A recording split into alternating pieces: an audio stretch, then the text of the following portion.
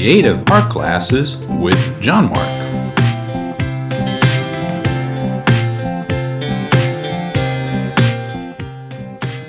Today's lesson, how to draw a cartoon pumpkin.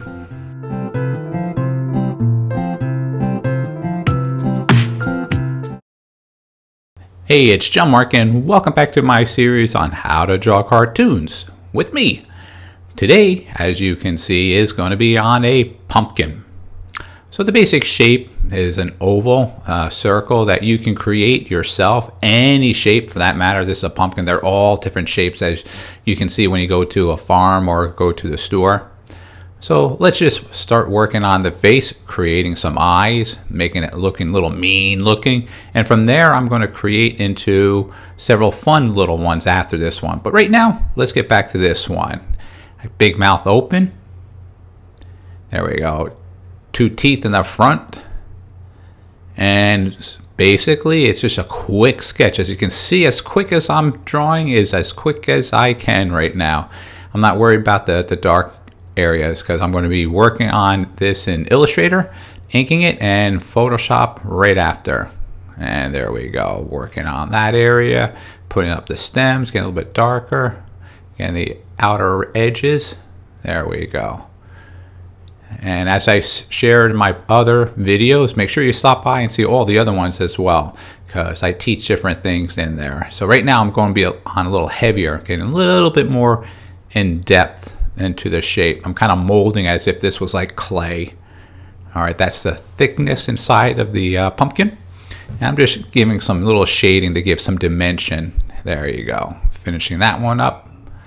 All right, those are little uh, areas that indicates you know it's a pumpkin there. And let's get the lines.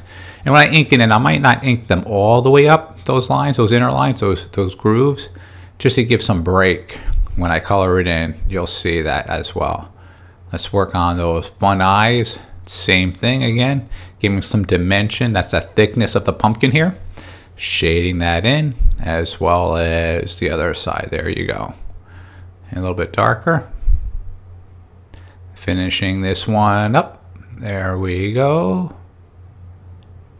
Get the other line up. Okay, next one. Okay and again a little bit more detailed and darker and the neat thing about a pumpkin as a lot of vegetables and fruit combination they could be any shape you can't go wrong that's what's the cool thing so practicing multiple pumpkins and just use your imagination tall skinny or flatter all that's really good okay here's the stem i'm going to make it like go a little cut off there and i'm going to make like a little vine let me get that part right there okay and there's a little shading there indicating for me when I'm coloring. And here comes that little curl for that vine. That's as if uh, it's growing, not where the leaves grow. This actually attaches so it can grab hold of things. Give them like a little hair. All right, and there we go. A little bit more detail shading on the side there to give some uh, dimension again, separating the light from the dark. And as you can see, when I shade, I had them wider so they look gray. It's not as dark. When you go tighter, they get darker. And let's drop a bottom base on there for him. And I think we finished this one. All right, let's sign it and date it as always. And thanks again for watching this video.